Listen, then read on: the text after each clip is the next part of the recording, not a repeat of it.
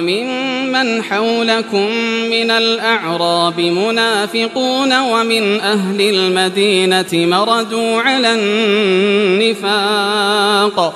لا تعلمهم نحن نعلمهم. سنعذبهم مرتين ثم يردون إلى عذاب عظيم.